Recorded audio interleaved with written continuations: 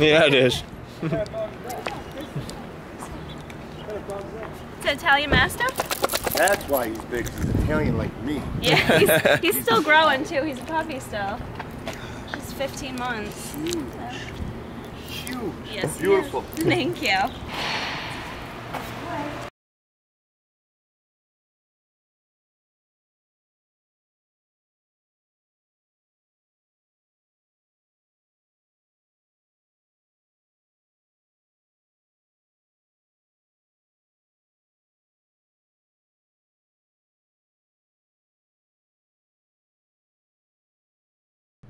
What's up, guys? I'm gonna do a little commentary over some footage from my push day, and I'm not really gonna speak to the workout so much, so I'm just gonna let that play for you guys to watch.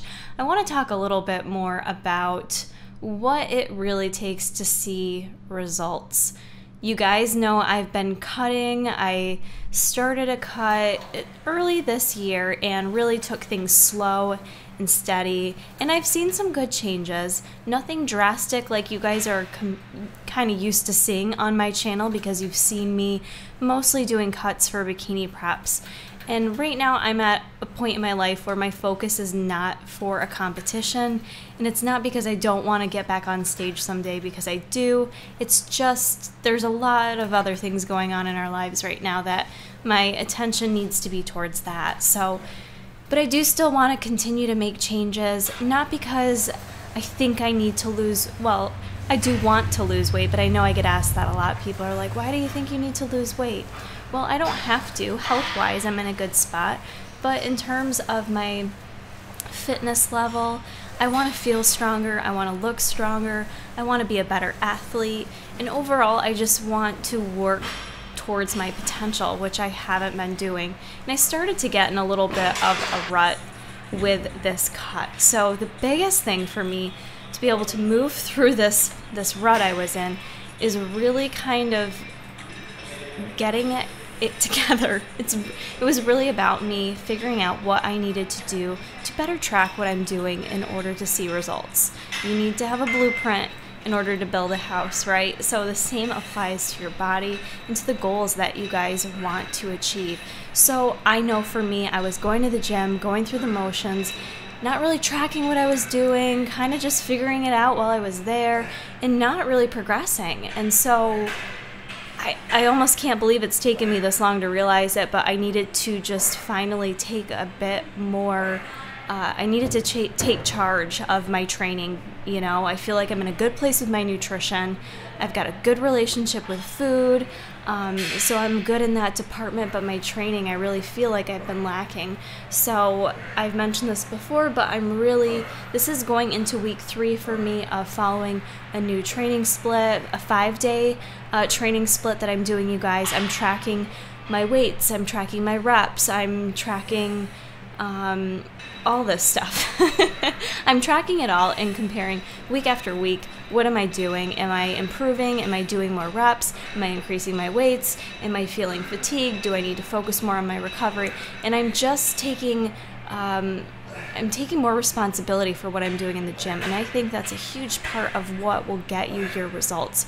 You really have to be consistent in all those areas. So, I'm doing a much better job at that. Um, not reflecting a huge change right now, but that's okay.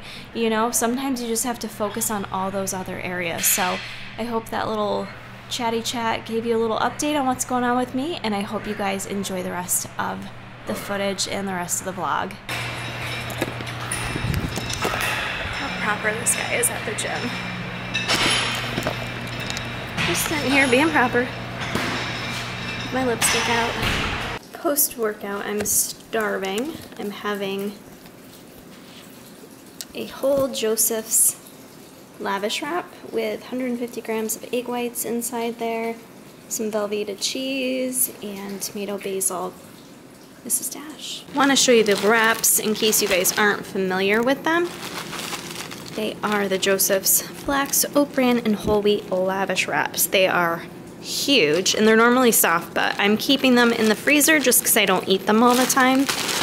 The macros on this guy are awesome.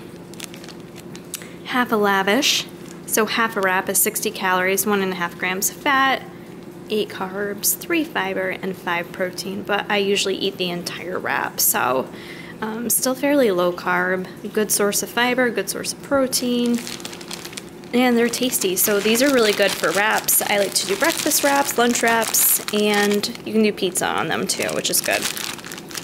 I got these at BJ's, which is kind of similar to Costco if you're not familiar with it. You can get them at Walmart too. So on the weekend, I like to eat a little more for fun.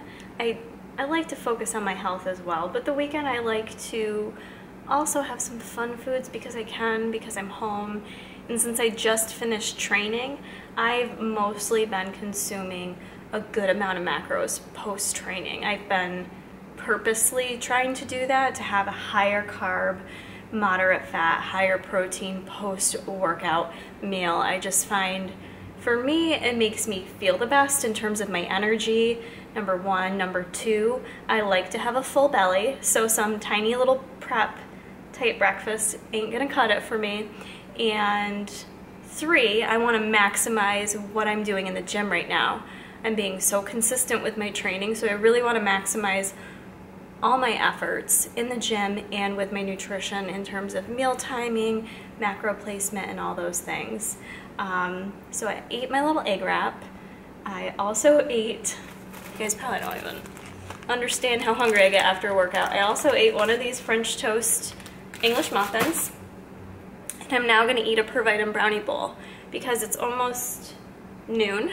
So I just wanna eat a big meal and that way I'm satisfied, I can go about my business and be good to go for at least a few hours. So again, not the healthiest assortment. I'm not, no fruits and vegetables here, but that's okay. So my fun Per Vitam brownie bowl, you guys have seen the recipe. Hopefully you have. It's on the YouTubes, but I use a scoop of this with dark cocoa, fourth teaspoon of baking powder, third a cup of cashew milk. Stir it, cook it for 50 seconds in the microwave, and that's your brownie. And then on top, I've added like a half a serving of this, I think it's vanilla, yep, vanilla peanut butter powder. Then what I did last night, this was so good, you guys will have seen it on my Insta story, but I bought this little mini container of mini M&Ms and I used half last night. The macros on half are like 10 carbs and 3 fat, so we're gonna add that on top with some, ew, some fat-free Ready Rip, Reddi-wip. And yes, I leave the peanut butter all powdery. Three servings of fat-free. And then the whipped cream kind of like melts into the peanut butter. Mm-hmm, yep. Yeah, that's it. This is what I'm eating. And you know what? I don't feel bad about it. That's the beauty of this. I'm getting in a good source of protein. I'm getting in more carbs. I'm getting in some fats. I'm getting in some real sugar as opposed to fake sugar. I don't know. But sometimes your girl just needs a little sugar, so highly suggest you guys try this out if you're having a sweet tooth. I'm in the midst of Shark Week, hashtag Lady Week, so this has been a great way to manage my cravings. And look at that. I may have a little bit of Bruce hair in there, but don't mind that. Extra protein. So, even though that sounds like a lot of food, kind of is pretty high in protein. 61 grams of protein, 72 carb. That was 12 fiber, 22 sugar, 18 fat, and not a lot of vitamins. So we'll get that in with our next meals, but my tummy and my cravings, well, I wasn't really having cravings, but my tummy is a happy camper right now. Now I can shower and not be hangry. Mr. Wayne. The dog's room has turned into my official selfie spot. Just works well with the lighting in here. My outfit of the day today is, if you guys watched my express haul, if you haven't, go watch it. I shared a bunch of cute Kara style looks, but I'm wearing one of my tank tops. It's like the ribbed for her pleasure tank top. It's got the cute little, oh, I don't know how to show my back people do this. It cuts down in the back. That was way too extra. And the little army shorts, which are like loose, but super comfortable. They're they're like canvas style shorts. So it's really, really nice out today. I think we're gonna actually, I hate it when my hair does that. Like, what is that? Why do you do that? I used to call that a skank strand when it like separates. In junior high, we called that a skank, skank strand. You heard it here first, folks. But yes, this is my outfit of the day. Got makeup on and I'm feeling a little bit more okay to be on camera today. So yesterday I wanted nothing to do with being on camera because I was having a pity party for myself, feeling ugly. And I know that sounds lame and stupid vain, but sometimes, you know, when you do these videos, I do think about how I look on camera and if you're having a really down day or in a really bad place, you just don't want to be on camera because you're not going to want to look at it. So that was kind of where I was at yesterday, but I'm in a good place today. Lady Week is ending, the hormones are regulating, and how adorable is this? My dog is outside on the couch. I thought he had to go to the bathroom, but I love looking outside and seeing those little bat ears. Alright, so this is going to be my next meal. It's high in fiber, good source of protein, it's a whole food. It's a goat's horn. And actually, we're going to give it to Bruce. Just joking. Um, it has real goat's hair on it. Apparently, the pet store man said that it's good for cleaning their teeth. It almost like flosses their teeth. So we're gonna give Bruce this horn and see what he does with it. Show it to him. Show it to him. See this? Bruce, Bruce, Bruce. Hey, you see this? Bruce set.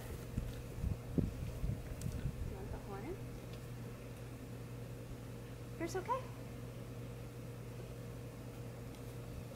I'll take it very gentle. like so gentle. He's got drool pouring out of his mouth. See it? Yeah. It is Sunday around 2 o'clock. And Jason and I are going to head to Sylvan Beach. It's kind of like this little towny beach, but there's some cute places to eat, so I think we're going to walk around and grab a little lunch and enjoy the weather. Hi, can I get two medium iced lattes made with almond milk? Yep, can I get extra sugar-free coconut in one of those and then toasted almond in the other one?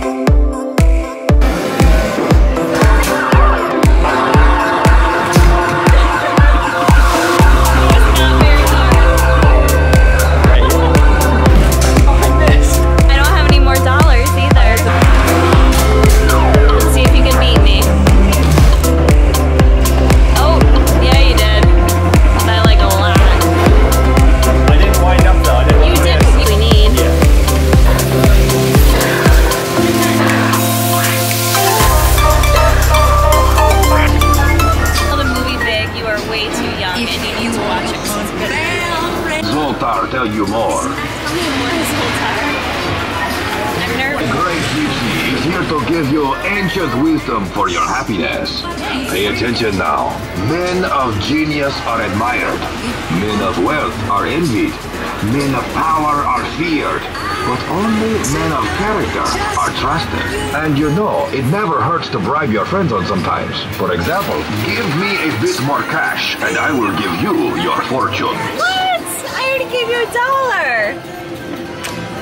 Harpoon Eddie's. Start now with some shrimps, some scrimps cocktail. Got some blackened grilled mahi. It's basically a salad with pineapple mango salsa, I think. Blue cheese. Looks good. Bye, thank you.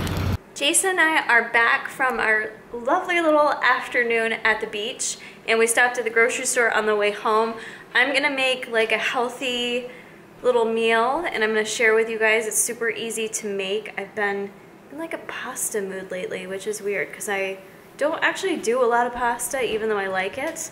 but being the summer months, I wanna make like a cold veggie pasta salad that is a good source of protein, that gives you some nutrients from vegetables.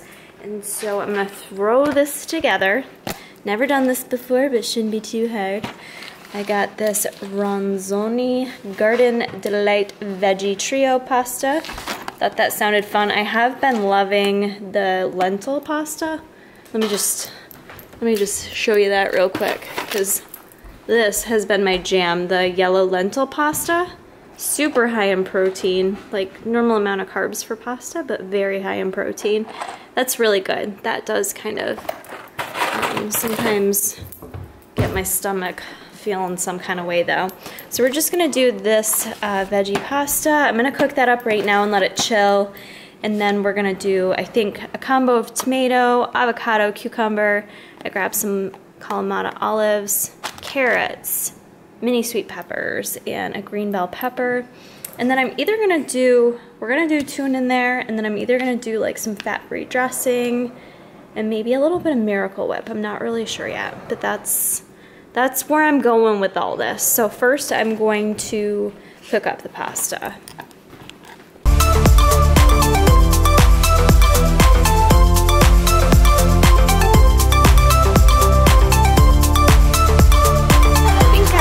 Supposed to cook the pasta al dente. I think I went a little bit over over that, but that's okay.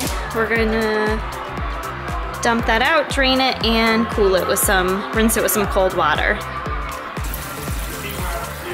I went ahead and chopped up most of the vegetables.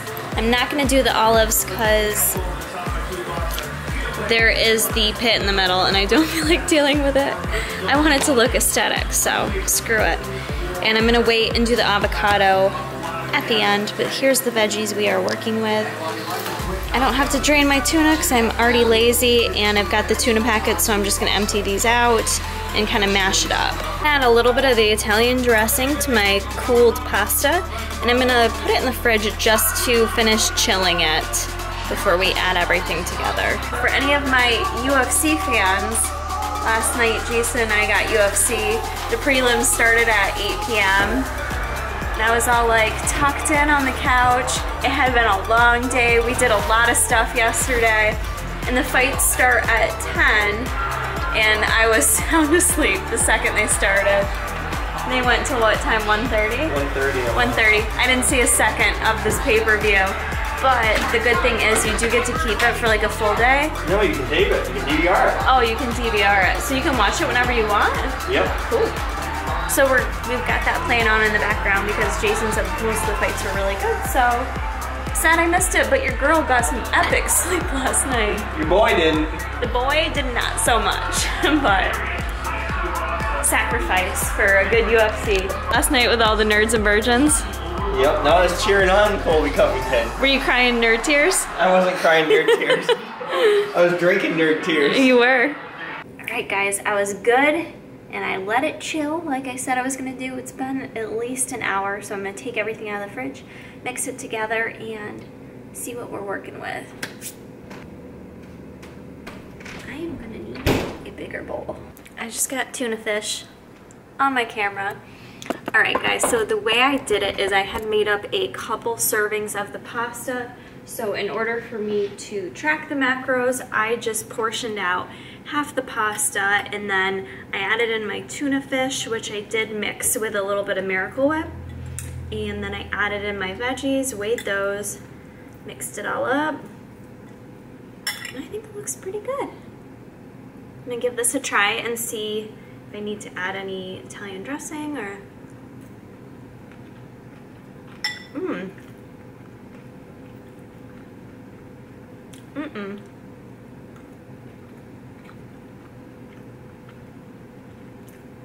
Mmm. That is delicious, actually. It was pretty easy. The biggest thing I would just say is you have to be okay with waiting for it to chill because if you eat it while the pasta is still warm, it's just not gonna taste as good. But that's it, pretty simple summary recipe. And I think this is gonna be the end of the vlog. because it's getting late and I have some more work to do. I'm gonna be writing up a blog post for Angel competition bikinis, so I'm gonna do that right now and finish watching UFC while I eat, do emails, Sunday night stuff, so I gotta get ready for the work week. And that's gonna be it. I hope you guys enjoyed this video. If you did, hit that like button. Make sure to stay tuned for the next video. Also, let me know if you try out this pasta salad recipe. If you do and you like it, let me know. And I'll see you guys in the next one. Bye. Ooh, avocado. I'm adding that too.